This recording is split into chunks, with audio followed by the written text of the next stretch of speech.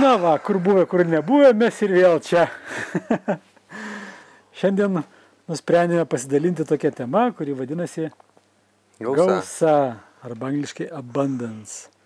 Tokia labai plintanti tema, Visiems labai aktuali. visiems labai aktuali, E, ypatingai kai kyla elektros kainos. Mm, tai gausa. Buvo, yra, žinau, kad internete vyksta visokiausių ten kursų, ten kaip susikurti gausą mintimis arba medituojant. O ir sąskaitai daugėja pinigų. Automatiškai. Esi tokia daręs, kad Aha. Taip, gerai, pakalbėkime apie gausą.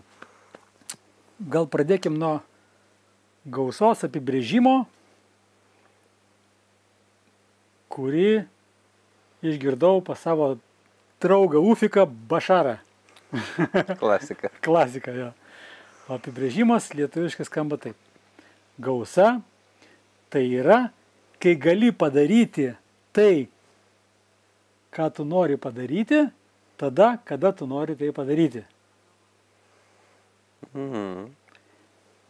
Viskas. Taškas. Šitame apibrėžime nėra nei žodžio apie pinigus. Bet dažniausiai, kai žmonės pradeda apie gausą galvoti arba pirkti kursus ar užsirašinėti juos, dažniausiai jie nori pinigų. Ir labai koncentruoja savo dėmesį į pinigus. O pinigai tai yra tik tai energijos forma ir tai yra tik tai viena iš keleto gausos formų. O gausos formų yra, mes jau per vieną pasidalinimą šiek tiek paminėjom, Mhm. yra, na taip, pinigai jau minėti, į kurias mes taip mėgstam koncentruotis. Tada yra dovanos, kurios ateina į mūsų gyvenimą, tikėtai ir netikėtai, kartais didesniais, kartais mažesniais kiekiais. Taip pat tai yra mainai, kažkokie tai, ne, ten tau kažko nebereikia, tu man atiduodi, man kažko nebereikia, aš tau atiduodu. Dabar aš girdėjau, atsidarė kažkur tai Vilniui mainų centras. Ei, kur tiesiog atnešiu savo dalykus. Jo. Kaip jis vadinasi, nebetsimenu. Bet ten, jo, tiesiog ateini, atneši savo dalykus ir įsirengi, ką reikia. Viskas nemokamai. Ok. Labai geras, labai aš ten tiesiog sužavėtas tų žmonių kūrybingumu ir, ir žemai linkiu galvą tiems, kurie tai sukūrė. Dar kitas gausos, dar viena forma yra kūrybingumas arba e, įkvėpimas. Va. Įkvėpimas. Nes nuo įkvėpimo priklauso, ne, ką tu galvoj sukursi, ką sukursi galvoj, tai tikėtina gali ir tą ir įgyvendinti. Mhm.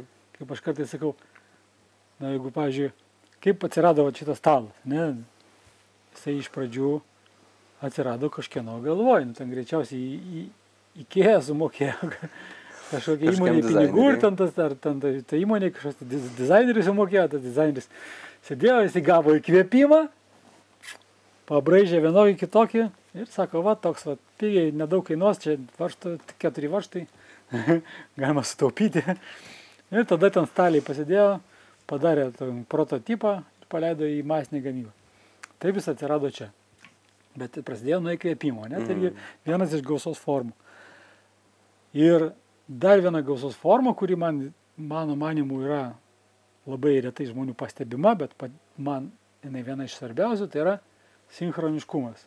Mhm. Tai yra, kai tinkamu laiku ateina tinkami žmonės, susikūrė tinkamos situacijos, kažkas ten pasako, kad pažįsta kažką, tai tas kažkas tai tau duoda kažkieno tai kontaktą, tu ten kažkur naini, susitinki, tada stebuklingų būdų žmogų, su kuria tampi partneriu ir su kuria klesinčia įmonė, na, pavyzdžiui. Mhm. Tai viskas sinchroniškai įvyksta ir tas, tas sinchroniškumas vyksta nuolatos. Bet kai mes, žmonės, desperatiškai koncentruojamės tik į pinigus, mes tiesiog nepastebim visų kitų gausos formų ir dėl to negali būti jaus dėkingumą už tai, ką gaunam. Mhm. Ir tipo, oi, oi, man trūksta pinigų, trūksta pinigų, trūksta. Ir kai kartoja trūksta pinigų, įkrenta į tokį trūkumo kažkokią sąmonę Mhm. Užburtą ratą. ir tada pradeda praktikuoti trūkumą, sėti trūkumo sėklas ir užauga dideli trūkumo medžiai, kurie išauga iš visiškos gausos. Tai labai įdomus toks paradoksas. Ir aš tai manau taip. Mes beveik kiekvienam savo pasidalinime vis paminim žodį formulė, ne, tą laimės formulę. Mhm. Nes ir čia jinai siejasi. Kai mes apie ją kalbėjom, kalbėjom, kad kai žmogus pasirenka daryti tai, kas jam labiausiai patinka daryti, kas yra Mhm. jo įstringiausia veikla, tai automatiškai tai būna instaliuota visa gausa ir jisai viską gauna, ko jam reikia, kad jisai galėtų tęsti savo veiklą. Mhm. Taip. Bet taip pat, kadangi visata funkcionuoja kaip veidrodis, tai ką tu duosi, tai gausi su kaupu. Aš neseniai išmačiau, kad šitas dėsnis, dėka šito dėsnio, žmonės, kurie dirba nemėgstamą darbą, vis tiek gauna algą. Nes kokį darbą bedirbtų, kad, tarkim, nebuvo įtikinti kažkieno tai, kad būtinai reikia dirbti sunkiai ir ne, ar ten nebūtinai mėgstamą darbą, Mhm. kad, kad, kad išgyventum, Nu, nes Ir, ir tada jie neįmanoma. įsidarbina, bet tai yra forma pasitarnauti kaž kitiems, ne? Nu, nesvarbu, kaip tu įsidarbinti ten maksimui kasininkų, pavyzdžiui, nors, tarkim, nu, neapkenti to darbo, bet ten sėdi tam nuo ryto iki vakaro ir, ir tu pasitarnauji. Žmonėms reikia, kad tam sėdėtos kasininkas, tai tu kaip ir per kančią Atiduoti. nueini į tarnystę. Į tarnystę per kančią. Okay. Ane?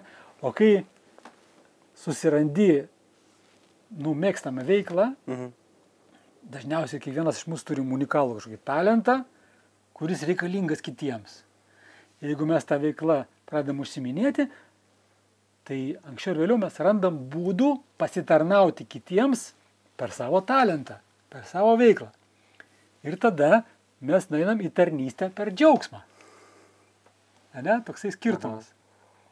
Tai ir tada ta gausa geriau jaučiasi už tai, kad na, netrodo, kad kažkom užsiemi, atrodo, kad nieko neveiki, uh, maloniai leidi laiką Tai ir tiesiog vyksta ir viskas. viskas vyksta ir tau visko pakanka ir viskas yra labai gerai. Bet jeigu tada užsiemi nemėstamą veiklą, eini per kančias, plauki prieš, aš neatsimenu, mes tada minėjom tą upės uh, pavyzdį, Man atrodo, kad... tada gal minėjom, kur, kur ten Tėvas dažnai tikina, kad sakė, būtinai reikia plaukti prie srovę šitą upei, Mhm. nes ten auga bananai, nes aš visą gyvenimą plaukiau ir ten radau bananų. Ir ten tada tu irgi pasirašai, nesitikino, irgi plauki, plauki prieš srovę įrėsi ir ten iš tikrųjų randi bananų. Bet jeigu vieną dieną galvoji, ai ne, pabandysiu pasrovį, ką reiškia pasrovį, tai darai, kas tau patinka. Ir pasileidai pasrovį. Ir varai, pasirodo, ten irgi bananai auga, tik reikia ištraukti ranką kartais nusiskinti, nepatingėti. Tokia yra toks įdomus palyginimas. Ir e, aš galvoju, e, kalbant apie gausą, aš norėjau paskaityti e, tokį vieną pasaką. Neseniai išgirdau, netyčia, nors netyčia sako, nebūna dalykų, internete audio pasaka, kurią įskaitęs buvo Žydrūnas Sadauskas. Aš dar asmeniškai jo nepažįstu, bet atrodo visai fainas bičias. Ir ten išgirdau pasaką, kurią dabar noriu jums paskaityti. Nes kaip visgi kažkada buvau pavadintas Ezopu, o Ezopas e, pasakėčias kūrė, kad įtakoti vaiko, vaikų, vaikus yra ateitį pasaulio. Taip pat ir skaičiau prašymės Žydrūno Sadausko knygos. Jisai irgi kažkada pas jį atsirado vaikas ir suprato, kad nėra kokių pasakų jam skaityti. Nes giliai pamaščius suprato, kad daugumą pasakų traumuoja vaikus arba sukuria kažkokius tai labai iškreiptus veidrodžius, todėl nusprendė kurti pasakas pats. Ir šioje knygoje, gale knygos jisai duoda instrukciją, kaip pačiam sukurti pasaką savo vaikui. Ir dažniausiai Yeah. įtraukti savo vaiką kaip, kaip personažą, Aha. Ir jeigu nori, kad nebūtų pamokanti ir matai, kad jo gyvenime vyksta kažkas, ką jis turėtų suprasti netiesiogiai, kad pamokyt, tai ką jis ten daro, ne taip, tarkim, su kokiu nors savo draugu, ta draugai įtraukė jo draugo vardą kaip personažą, kokio nors ten ežiuko, žinai, o jo kaip kiškučio. Ir, ir tada jam žymiai įdomiau klausytis tokių pasakų ir čia labai gera mintis, aš manau, kad tikrai mano vaikas dar labai mažas, bet šiek tiek dar pauktels ir aš tikrai pasinaudosiu iš to instruktažų. Ačiū labai žydrūnai už šią knygą. Dabar paskaitysiu pasaką, aš mėgstu ją skaityti labai. Pasaka apie ubago sąmonę. Buvo šiltas rudens vakaras, miškas kvepėjo drėgme ir grybais. Tiesa, kai kurie medžiai jau buvo pakasti rudens šalnų, vienas kitas lapas jau keitė spalvas, iš žalios į geltoną ar net raudoną. Ypač tai matėsi miško properšuose. Paukščių jaunikliai jau buvo ūktelėję, bet, nebur, bet nerūpestingo jų čiulbėjimo girdėjusi vis mažiau, kaip ir šiandieną čia girdim. Visi miško gyventojai ruošiasi sunkiausiam miško sezonui - žiemai. Ta diena tėtis kiškis ir kiškutė ėjo miško takeliu ramiai šnekučiavusi. Kiškutė tauškėdama vis pasukdavo tai vieną, tai kitą takelio pusę. Kartais pasilenkusi kažką pakeldavo nuo žemės, įdėmiai apžiūrėdavo ar pauostydavo ir numesdavo. Tėtis, sunėręs letinas už nugaros, lietai ėjo ją iš paskos ir kažką pasakojo. Staiga kitoje takelio pusėje išnyro kiškio siluetas. Tai buvo jų kaimynas, kurį visi vadino nelaimėliu. Kiškio eisena buvo sunki, atrodė, kad kažkas įvelka žemę. Pamatęs tėti kiškį, jis staptelėjo, pakėlė galvą ir tarytum atsigavo, bet po akimirkos atrodė dar labiau suvargęs. Likus keliems metrams iki jų susidūrimo, kiškės ir kiškutė nustojo kalbėti ir susižvalgė. Visi trys sustojo. Prieėjęs kiškis nelaimėlis ištėsi kiškių letiną, o kiškutis tėtis, atsakydamas to pačiu, garsiai tarė. Sveikas kaiminė, kaip gyvas? Palabintas kiškis bandė šipsotis, bet šypsena labiau priminė grimasą. Jis nuleido akis ir ėmė guostis. Labas kaiminė, oi nekas, nekas. Turguje iš vieno kiškio, kuris atvyko iš kito miško, nusipirkau maišą morkų. Jis labai pigiai jas pardavinėjo. Paėmiau visą maišą ir apsidžiaugęs nuskubėjau namo. Parėjęs sukviečiau šeimyną, kad visi pasidžiaugtume pirkiniu, bet paaiškėjo, kad morkos geros tik maišo viršuje. Giliau esančios morkos buvo supuvusios. Bėgau atgal į miškelio turgų, bet ano kiškio jau ir pėdos buvo taušusios. Nelaimėlis atsiduso ir tęsė. Oi, nežinau, kaip reikės žiemą išgyventi, oi, nežinau. Nelaimėlis akės krašteliu pažiūrėjo į tėtikiškį ir drebančių balsų tęsė toliau. Ma, ma, man tai nieko, kaip nors išgyvenčiau, bet ką pasakyti vaikams? Ir kodėl man taip nesiseka? Kodėl miško dvasia manęs taip nemyli? Keletą akimirkų girdėjosi gilus dūsėjimas, tada nelaimėlis nedrasiai tarė. Nežinau, kaiminė, tačiau, tačiau žinau, kad dar negražinau, negražinau tavo anos skolos, bet žinai, tokia situacija, na tu supranti, ašgi ne dėl savęs, aš dėl savo vaikučių, tikrai ne dėl savęs.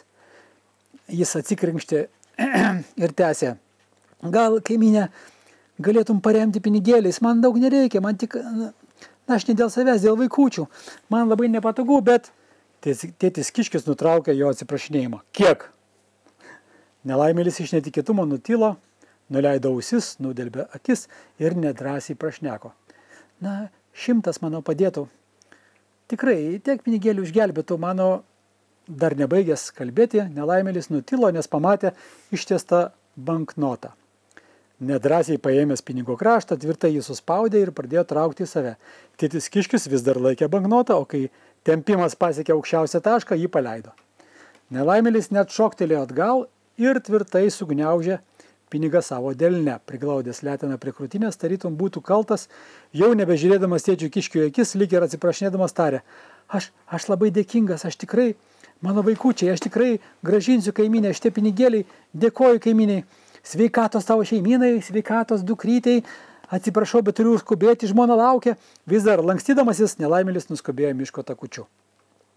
Tėtis kiškis su kiškute staptelėjo, pastebėjo, kad nelaimėlio susikūprinimo ir nuovargio neliko neženklo. Jis sparčiai liuksėjo, net neatsigręždamas.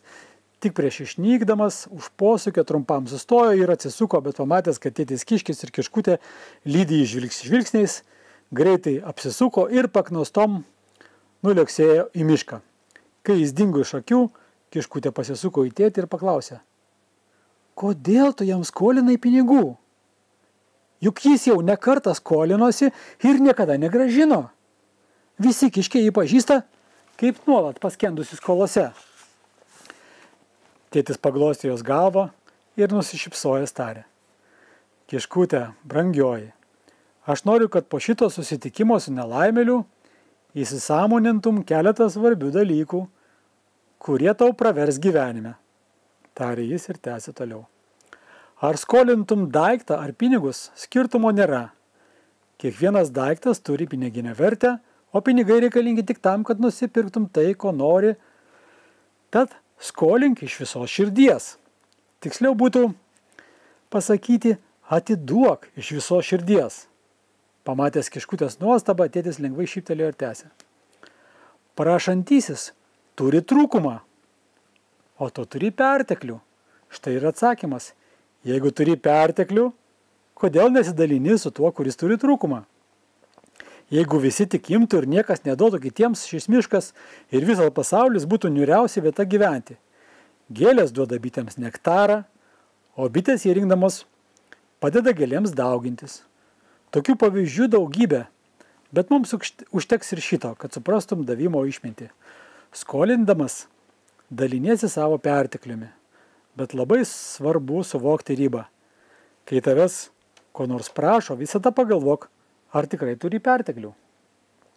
Kitas svarbus dalykas - jeigu duodi, duok iš širdies, nes jeigu galvosi, kad tai susigražinti nori, iš tikrųjų duodi ne dėl pertekliaus, bet iš trūkumo.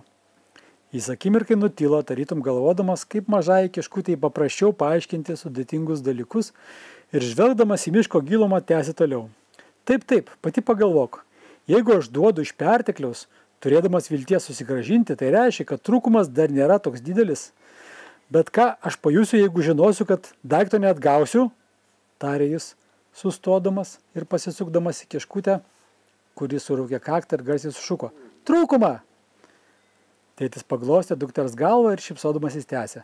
Tai, brangioji, duodamas kitam daiktą ar pinigus, tu duodi, net, nes pats to turi pakankamai. Ir tai sukuria prielaidą duoti iš širdies. Tau neskaudės, jeigu kaimynas negražins daikto ar pinigų. Jeigu gražins, smagu, o jeigu negražins, irgi smagu, nes davė iš pertekliaus. Vienu atveju sugrįžo tavo daiktas ar pinigai, kitu atveju padarai gerą darbą, sumažindamas kaimyno trūkumą. Tu tikriausiai matei nelaimėlio santykių su kitais kaimynais. Jis labiausiai susipykęs su prie upelio gyvenančiu barsuku, nes jam daugiausiai skolingas. Nelaimėlis vengia barsuko ir nuo jos lapstosi. Tai jo trūkumo sukeltos įtampos pasiekmė. Barsukas taip pat nuolat įsitempęs, nes niekaip negali atgauti savo pinigų. Abu nelaimingi, abu nuolatinėje kančioje ir įtampoje. Tave tikriausiai stebina vienas momentas. Kodėl barsukas turi pinigų? Jis tyriamai nužvelgė dukterį ir tęsė toliau. O tai jau kitas miškos dvasio dėsnis, kuris teigia, kad kuo daugiau duodi, tuo daugiau gauni. Taip, taip, kuo daugiau duodi, tuo daugiau tau grįžta. Pavyzdžiui, gėlės ir bitės, kuo daugiau gėlės duos nektaro, tuo daugiau gėlių bus apvaisinta, kuo daugiau bus gėlių, tuo gausesnė bus bičių šeimyna. Ir taip toliau. Jis akimirkai nutilo ir atsisuko, nes kažkas miškė trakštelio. Netrukus tęsė. Pakalbėkime apie tavo santykius su klasės draugais.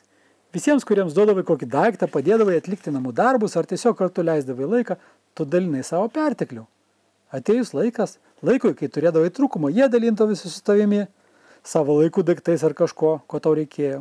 Tikiuosi, niekas neskaičiuodavo, kiek kartų ir kiek daiktų davėjai tu. Tas, kuris skaičiavo, iš tikrųjų sakė, aš duodu iš trūkumo. Labai svarbu suvokti, kad tu tai darydavai ne dėl to, kad vieną dieną atgausi paslaugą. Tiesiog darydavai arba duodavai ir tau visada sugrįždavo su kaupu. Lygiai tas pats su pinigais ir daiktais. Jeigu duodi širdies, grįž su kaupu. Jeigu duodi turėdama tikslą atgauti ar gauti daugiau nei davėjai, darai tai iš trūkumo. Jis nutilo ir jie lietai ėjo miško takučiu. Kiškutė atrodo susimašiusi, ji prisiminė visus savo draugus ir tuos, kurie jai tiesiog padėdavo, ir tuos, kurie nuolat prisimindavo, kas kiek kartų ir kam padėjo. Ir tikrai prisiminė, kad beveik niekada nenorėdavo padėti ar daryti paslaugų tiems, kurie skaičiavo. Jos mintis ir prisiminimus nutraukė tėčio balsas. Dabar pakalbėkime apie trūkumą. Kaip manai, kodėl mūsų kaiminėlis nelaimėlis beveik visada jaučia trūkumą? Kiškutė neradusi atsakymo apgalėstaudama tarė. Aš nežinau. Tėtis apkabino dukrą, priglaudė prie savęs ir paleidė starę. Priežasčių yra įvairiausių. Gali būti, kad nelaimėlio tėvai irgi buvo nelaimėliai, kurie gyveno trūkume ir mūsų nelaimėlis tiesiog buvo mažas kiškiukas, kuris matė tik tokį pavyzdį. O galbūt jo gyvenime buvo laikinas nesėkmių etapas, kuriame jis įstrygo, dar labiau įdidindamas. Priežasčių gali būti visokių, bet Blogiausia, kad pažeidžiamas dar vienas nerašytas miško dvasios įstatymas, kuris skelbia, kad turinčiam bus pridėta, o iš neturinčio bus atimta. Turintis perteklių ir įduodantis tik didina savo perteklių. Turintis trūkumą ir taupydamas didins tik trūkumą.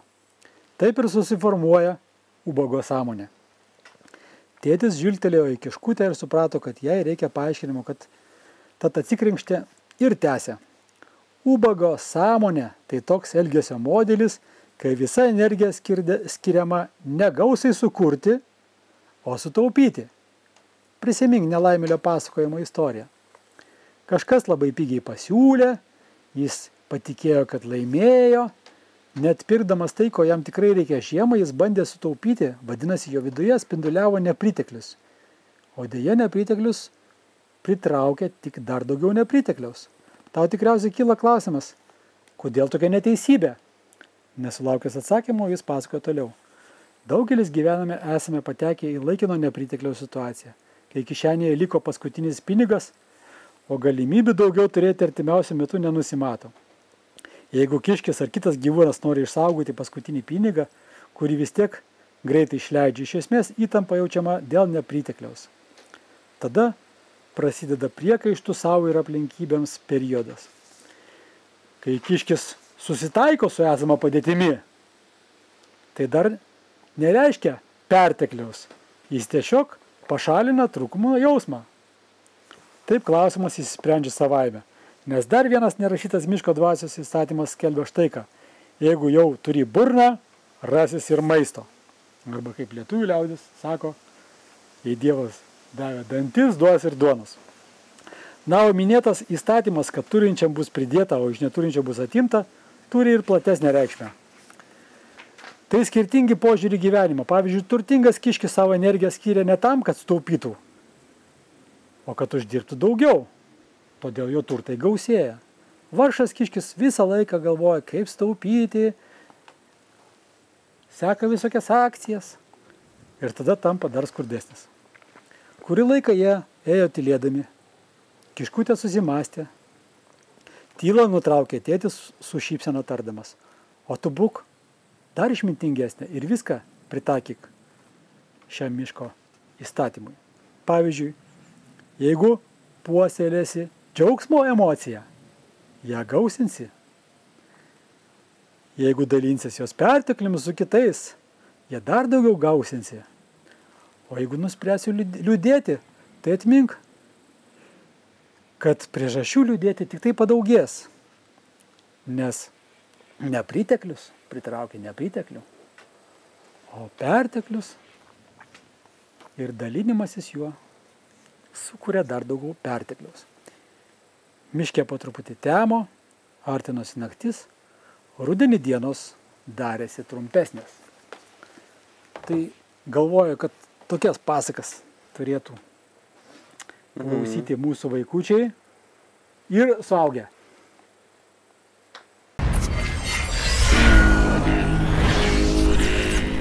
va, kviečiu padiskutuoti. E, žinai, būna tokių momentų, kai iš tikrųjų baiginėjasi sąskaitose pinigai ten.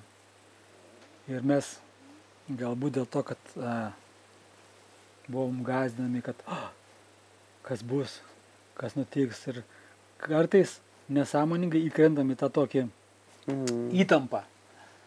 O nėra pinigų dabar, o čia, čia tą reikia tą dabar labai čia susijimti ir susikoncentruojam visą dėmesį į tą trūkumą. Mhm. Ir situacija negerėja, iš esmės. Visą tai O iš aš, mūsų o aš labai gerai atsimenu, va, jaunystė buvo paauglystė, tai būdavo tokių momentų, na, ai, dar kai, va, kai buvo ten muzikantai, kai buvom, tai būdavo, žinai, bangom tas pajamos, ten ateina, ten piški, ten trrr, kažkur tai išleidžiam ir ten kurį laiką pauzė, nėra kokių koncertų, na, nėra pinigų, nėra, tai nėra. Nu. Ai, yra kaip yra. Kažkaip atsimenu savo pasakydavau. Mhm. Bet nekeldavau niekada iš to įtampos. Na, rasdavau būdų, ko, ką reikalų, ko užsiimti ir taip, žinai. E, bet manau, kad reikia man pačiam irgi dažniau savo priminti, nes būna ateina vis tiek tos dienos tokios kartais. Būna tokių momentų, Mhm. kai atrodo, kad, "Ah, o, senka, piniginė planėje. Kas dabar bus, ką daryti, žinai. Kažkaip reikia išmokti save pagauti, kad neužsiciklinti ant tos, ant tos minties, nes pradedam generuoti tą tokią, Jeigu užsi, užsisuki ir užsilūpini, tada tikrai mažėja, tikrai sunkėja ir tau leidžia patirti tą nepritiklių pilnai. na, na taip, Jeigu man būdavo taip pat atsipalaiduoji, arba tiesiog kurį laiką esi jau prasinervavęs, prasirūpinęs ir kažkurio metu tiesiog nu, vat, nukrypsta mintis Mm. ar, ar kažką smagaus paveikia ir ten koks nors ateina užsakymas, nežinau, kažką nufotografuoti, nufilmuoti. O, kaip fainai, tada džiaugiesi, fainai, fainai, dar ateina, dar, dar, nu, tiesiog vėl užsisuki į tą teigiamą pusę. Kad vat, ta lūžio vieta ir yra, kad uh, nors trumpam atsitrauk nuo savo tom nepritlikliaus būgno mušimo, kad vat, sunku, sunku, sunku, Jo, jo. sunku. man, man iš tikrųjų padeda kartais tos, yra visokios uh, tokios gausos meditacijos Mhm. įvairios. O vieną Viktoriją ten kartais pasiklauso, ten jau pirmi sakiniai. Nusimerkia akis ir sako, arba pagalvokite, kas yra aplink jūs. Auga žolė, niekada nieko netrūksta, medžiai žaliuoja, žiūrėkit, kiek aplink gausos. Visa gamta jums tiesiog šaukia. Čia pilna gausos. Mhm. Tai tada tiksliai, žinai, nukreipi mintis į tą, žinai, tavo tas planėjančias piniginės, į tą gamtą maždaug. O, tikrai, žiūrėk, viskas vyksta. Paukščiukai skraido, Mhm. čiulba, visi kažkaip tai randa pavalgyti. Tai gal ir man viskas gerai. Nusiramini ir dar pradeda vėl tikėti. jo, nusiramini. Man labai padeda Bašaro meditacija, yra ten tokia gausos meditacija. Nes labai vertinga, iš tikrųjų, aš aišku, angliškai klausausi, man kartais tai būna, kad jeigu kažkur jaučiu, kad įtampėlė, užsideda ausinės, atsigula, atsipalaiduoju ir kažkaip taip sudėlioju į lentynėlės. Aha. Nes nu, ten labai yra svarus argumentai. Vat, e, yra, skaičiau knygą tokią daktaro Joe Dispenza, Mhm. jūs esate placebas. Ne? Na, įdomus fenomenas. Placebas, tai kai kas nors tau daktaras ateina su baltu halatu, sako, čia vaistas, kuris labai geras, tikrai labai geras, įtikina, kad jis tave pagydys, o iš tikrųjų duoda neveiklę medžiagą, tu išgeri ir pagyji. Ir jie ten yra belenkiek eksperimentų Mhm. pasaulyje pridarę, kur ten žmonėm su, su temperatūra, ten sakydavo, dabar duosim visiems aspirino, duodavo aštuoniem aspirino, dviem neveiklios medžiagos ir matodavo, ir, pas tuos du irgi pradėdavo skistėti kraujas ir kristi temperatūra vienodai kaip visus kitus. Mhm. Vien dėl tikėjimo. Jo, vien dėl tikėjimo, nes tai Bašaras aiškina, kad kaip šitam visam žaidimui viskas vyksta. Kad ateina iš sielos mūsų energija, jinai at- atsispindi besąlyginėje meilėje, tai yra mūsų širdyje, ir tada per mūsų protą fizinį, kaip mes patikim, kad yra tiesa, tokią realybę ir manifestuoja mūsų Mhm. siela. Na, tada labai make sense, nu, tada įgauna prasme, kodėl placebas veikia. Mhm. Nes kai mes patikim, kad yra tiesa, tą ir manifestuoja. patikim, kad yra tiesa, kad pagysim nuo žolelių, pagėm nuo žolelių, patikim, kad nuo tabletės, pagėm nuo tabletės. Mhm. Tai angliškai tas, ta tabletė yra, ten ta žolelė arba kažkoks kita priežastis yra vadinama permission slip, tai yra leidimas savo patikėti kažkuom tai. Ir taip pat Bašaras ten teigia, kad mūsų didžiausia gale yra laisvė rinktis, kuom tikėti. Na, Jeigu padaryti prielaidą, ne, mm. Aš nemanau, kad ne, ten yra dalis žmonių, kurie tarsi šitą dabar klauso pasidalinimą ir sako, aš nesąmonė, žinai. Nu, jie pasirenka tikėti, kad yra nesąmonė, okei, okay, viskas gerai. Tai, bet jeigu padaryti prielaidą, kad iš tikrųjų, va, aš galiu rinktis, kuom tikėti. Tai vienas dalykas, jeigu aš galiu renkuosi, kad tikėt, kad man gali pritrūkti, kad man gali neužtekti, kad man reikia sunkiai dirbti ir aš tada einu, gyvenu, tam ten sunkiai dirbu, stengiuosi galą su galu sudurti, kaltinu Seimą ir visus kitus. Mhm. Arba aš galiu rinktis patikėti, kad aš iš tikrųjų pats kuriu visą šitą realybę. Ir štai, kad be sąlygų myliu save, dėl to man niekada nieko čia nepritrūks. Dėl to aš galiu atsipalaiduoti, Mhm. mėgautis gyvenimu, daryti, kas man patinka. Bet yra svarbus momentas, kai mes kalbam apie tą formulę, kai kurie žmonės galvoja, o tai jeigu daryti, kas man patinka, tai vat, e, sėdėsiu ten vienas, žinai, šilp, švilpausiu, man patinka švilpausiu, žinai, miškė vienam. Sąskaitos greičiausiai nepasidengs dėl to šilpamo. Nu taip. Tai aš manau, kad dėl svarbi formulės dalis yra atrasti galimybę pasitarnauti kitiems. Tai, tai jeigu tai darom per savo mėgstamą veiklą, kaip ir kalbėjom, tai, tai žymiai Mhm. yra paprasčiau negu per nemėgstamą. Tai, tai vat, jeigu mes pasirenkam tikėti, kad mes nuolatinę, turim nuolatinę gausą, ir galim daryti savo mėgstamą veiklą, mūsų, taip, mūsų gyvenime taip viskas ir manifestuojasi. Na, labai įdomu, įdomus jo žaidimas, bet e, kartais vat, reikia to permission slip, nu, patikėjimo, Mhm. kažkokio tai momento, kaip to patikėti. Tai yra žmonių, pasakojau, girdėjau pasakojimus, kai atsiduria visiškai tokiam netikėtoj situacijai, kai ten nėra ką valgyti, nėra šalta, nėra šilumos, nėra pastogės. Na ir tuo momentu jie, tarkim, irgi yra skaitę tokios literatūros e, arba tokių idėjų Mhm. pasiklausė, kad niekada ten jų dievas ar ten siela ar vis- visata, kaip be pavadinsi, nepagadinsi, nepaliks be nieko. Ir tada sako, nu, pažiūrėsim, kas dabar bus. Ir tada, op, iš už kampo išeina žmogus su pilna tašė rūbų ir kitoje tašė pilna maisto. Sako, oi, kai, gal valgyti nori, gal tai šalta. Ir tada užsirengt. Stebuklas, ne? Mhm. Tai kartais reikia gal, ne, reik, kartais to reikia momento tokio, žinai, kur visiškai nueini į tokį nusinulinimą, Dugna, dugno. į dugną kažkokį nusinulinimą ir tada žinai, nu kas dabar, nu kas dabar. Ir tada čik, ir toliau vyksta. Man atsimenu, kai buvau mažas, e, būdavo labai dažnai, ten tėvai, žinai, oi, ten pabrango, ten kefyras, ten kažkiek kapeikų, ten dar tas. Čia dabar e, reikės susiveršti diržus, reikės dabar kurį laiką maitinsimės vien košėmis. Čia mamos buvo mėgstamas toksai. O man patinka košės, nu, pavyzdžiui, grykio. Ir aš taip apsidžiaugdavau, galvojau, o, košėm. pamatysiu." Ir nevelnio, kai nesimaitinom tom košėm, tai ne, kai buvo ten tų dešrelių, žuvės ir visko ant stalo, taip ir buvo. Ir visą laiką visko buvo. Mhm. Tada keitėsi ten santvarkos, ten, ten sugriuvo tarybų sąjunga, ten važiavo tankai, ten kokia nors ten viskas, atrodo, nauja valstybė kūrėsi iš nulio, kažkokiu tai prispausdino pinigų lengvai padirbamų, tų grikų, ten gruzinai privažiavo pilnom volga bagažinėm šito. Infliacija, atrodo, turėjom ten žlugti ant karto. Ne, vis tiek kažkaip tai buvo, valgyti tai buvo.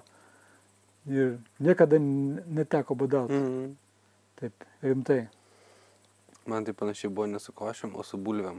Ir aš tik dabar paaugęs suprantu, kad buvo kažkokie sunkmečio laikai, bet man tai patikdavo valgyti bulves kasdieną. Nu, toks kažkoks fainas dalykas, aš tai džiaugdavausi, man galėtų būti keptos, ten virtos. Tai kaip maži vaikai, nu, Taip, mano taip, taip. žaliukas irgi, jeigu ten kokią kavinėje valgė, tai žinau, kad jis ten vieną dalyką tikrai visada. Aha. Fri bulvytės. ne pats sveikiausias dalykas pasaulyje, bet, bet tikrai valgys. Vaikams ne bulvytės gal dėl to, kad jos Mhm. saldžios, tai joms patinka. Gali būti. O kaip ten sako pas mus Lietuvoje. Ko kaime tai bulių visada yra, ne? Mhm. Čia kai kartais žmonės ten visokių idėjų turi, kad ten ypatingai dabar per pandemijas visas tas ir, ir karus ir taip toliau ten prisigalvoja, kad "Ah, čia buvo maras, karas, dabar ateina badas, jau ruoškitės, čia dabar, žinai, Mhm. na, žinai, kartais iškrežia tą mintim galvoja, "Ah, o gal čia iš tikrųjų, čia gal čia žlunga sistema, gal čia dabar kažkas gali nu- nutikti. Mhm. Ir tada kita mano pusė. O tai kas tada? Nu, tai, nu, tai perjungsim, persijungsim į viduramžių režimą. Mainus ūkinius. Jo, viduramžių režimą kažkokį. Mainai ten, e, šulinys, malkos. Indienai tipėse gyvendavo žiemą ir nieko. Mes dabar taip dėl smagumo statomės, kad tai nebūtų. Iš tikrųjų, šiaip faina kalbėti apie gausą iš tos pusės, kaip, nu, vat, aš žinai, apie tos dugnus, nu, kai tau pati visata parodo, padeda iš, iš, iš, iš to negatyvaus lūpų išlysti ir vėl pozityviai žiūrėti. Man labai dar patinka kita pusė, mūsų bendra draugė Jėva ir veda kursus ir, ir, ir, ir aš esu pas ją vieną labai labai senai klausęs ir pradėjau nuo to karto rašytis. Tai protarpiais būna užmetu, dabar pastaruoju metu kokį, nežinau, kelias savaitės tiesiog skaitau rytais, nu, nubudęs. Aš tiesiog apsirašau savo gyvenimą nuo iki. Tiesiog viską. Nuo, nuo pajamų iki ten namų, santykių, darbų, draugų, nu, viską tiesiog taip, kaip dabar yra, esamojo laiku. Ir uh, kaip norėčiau, kad būtų idealiu atveju. Tai visai nesiniai supratau, kad čia yra trečias apsirašymas. Ir pirmas apsirašymas įsigyvendino, antras apsirašymas įsigyvendino, dabar vyksta trečias. Mm. Ir Nu, supratau, bet e, kai kurie žmonės kartais labai klaidingai tą idėją pagauna, jam atrodo, kad užtenka tik tai pasirašyti. mm, oi Ir ne. viskas savaime, savaime vyksta. Ne, Na. tai raktas šioje realybėje yra veiksmas. Taip, taip. Na, ten, žinai, kai tu pasirašysi, ten e, gražus namas, ten e, e, miške Ir ir sėdėsi pasirašęs, Medituosi, nieko medituosi ir nedarysi. nieko nedarysi, nu neatsiras tas namas. Nu, aišku, kiti ten gal yra ten pilna kursų, kurie, sako, įtikina, kad, jie, Aha. kad jis gali atsiras, kad ten laimėsi kažkokį būtinai ten teleloto ar dar kažką yra atsirasęs. Bet aš tai kažkaip man patiko e, Vadimo Zelando knygos e, Transurfingas, kuris mokina tą vidinį ketinimą. Jis sako, na dabar vizualizuokit, kad jūsų ranka yra viršui pakelta. Ar jinai pakyla? Nepakyla. O kaip jinai pakyla? Kai tu vizualizuoji visą kelią Aha. iki viršaus.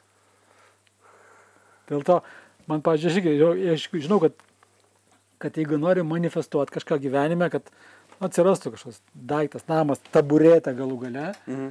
tai aš pirmoji eilė įsivaizduoju visą eigą. Aha, taburetės reikia, tai čia aha, medienos, žinau, kur gauti, čia toj lentpyviai, tenais, aha, turiu čia pjovimo staklės, čia reikės čia nusiobliuoti, čia, ta, tik, tik, tik, tik, čia, aha, ten klyjų reikia, čia, jo. Man, mano galvoj, kai aš žinau eigą, Aha. aš patikiu, kad tai yra realu. Realu ta taburetė, mm. taburetė kad atsirastų. Ir, ir tenai tada pati savai nesiranda. Tada vis tiek einu ją ir visą tą eigą padarau. Mhm. Tai, tai čia yra stebuklas, mano man, man, manifestacija. Nu, Tai čia tu, nors na, tai tu turbūt čia yra, yra žmonių, kurie, kurie pasakys, kad na, vat aš tai pasirašiau ir, ir man kaimynas tą taburetę atnešė. Aš manau, kad tai gali būti tokių visokių e, mislingų, mistinių Aha. manifestacijų gali atsirasti. Man kas iš tikrųjų veikia, tai aš įsivaizduoju, tiesiog stengiuosi, vat, nežinau, jeigu tai yra, tarkim, namai, nu, jausmą kvapą namuose, nu, tiesiog visą, aš jau esu, jie jau yra. Uh, kas vyksta po to, nu, jie neatsiranda patys, taip, neužaugo kaip grybai ten po lietaus. Bet atsiranda kažkas tau papasako, kaip ten vieną dalyką pasidaryti, kažkur pats pasieškai, ateina leng, lengvų būdų, tas išsisprendžia kažkas. A, Ir aš pradėjau jaust, kad kai leidi viskam vykt, nu tiesiog, vat, fainai. Su tekme, visiškai ne, ne, neforsuojant, nepušinant, a, viskas vyksta, nežinau, man atrodo, kad ne, niekiek nelėčiau, negu aš pats ten labai stresuočiau ir, ir, ir kažką pušinčiau, vat, kad man reikia dabar padaryti taip ir taip, nes ten, nežinau, namai pasistato tik tai labai sunkiai ten dirbant. A, kažkaip lengvai gaunasi tos pačios pajamos kažkada atrodė prieš kokius uh, du metus, at prasidėjo visos pandemijos, uh, visokie foto- fotografavimai, filmavimai labai smarkiai visiems, nu, visai šitai nišai žmonių užstrigo, nes tiesiog baigėsi renginiai ir visi kiti dalykai. Uh, atsidarė kitos, kitos duris, kiti darbai, kiti vartai ir tiesiog toliau vyksta. Tai aš kažkaip tikiu tuo, kad uh, kai aš tikrai nu, įtikiu, kad jau turiu, jau veikia, jau nu, vat, gausa, kad jinai man jau yra a, paruošta, a, man visada padeda tarsi padėlioja tą keliuką, kur po to pats pajaučiu, kur pasukti, bet vi- visada absoliučiai reikia mano paties inputo, tai yra mano paties nu, noro. Ar kažkur nuvažiuoti kažkam padėti, ar su kažkuo pasikalbėti, ar kažko paklausti, ar dažniausiai tai būna ne tiesiog pinigai nukrenta kažkokie iš kažkur, ar ten kažkaip, o per uh, visiškai atsitiktinius, va, su tavim kalbamės, tu ten papasakoji, pažįsti čia kaimyną, kuris ten kažką panašaus Nu, statosi. sinchroniškumas, Taip, kurį kalbėjom. taip. Bet aš norėjau dar sugrįžti prie tos pasakos, Mhm. šiek tiek aptarti e, ten, ten e, keletą niuansų. Dabar labai toks momentas, kuris labai gerai galima būtų papraktikuoti. E, pakilo elektros kainas. Ir absoliuti dauguma mano pažįstamų dabar iš karto pradėjo, kaip čia staupyti. Aha, tenais kaip čia mažiau čia deginti elektros, čia mažiau čia išjunginėja ten, ten šilituvą. Žinau, vienas, sako, draugas, tėvai atėjo tams vakare, tamsu namuose, gavau nėra, žinai. Aha. Sako, ateinu, sako, sėdi tamsoje, išjungi visas lempas. Nesaskaita didesnė tie, žinai. Aha. Tai va čia tas momentas. Ar taupyt, ar geriau įjungti savo visą dėmesį ir galvą, kokie aš galėčiau padaryti veiksmus, kad atsirastų didesnis strautas apmokėtoms atskaitom, ne? Mm. Nu, kažkokia daugiau tą savo mėgstamą veiklą, gal, gal per daug užsisėdėjęs buvau, gal čia man sako, mano siela ir visą tą, gal čia per daug jau užsit- atostogavau, kyla kainos, reikia eiti Pajudėt. daugiau pasitarnauti kitiems žmonėms, rast būdų. Aha. Galbūt e, naują būdą suras kažkokį, tai gal kūrybingumą, jung šiek tiek kūrybingumą. Tai va čia tas klausimas, žinai, ar išjungti elektros prietaisą, žinai, ar naują veiklą prijungti savo gyvenime.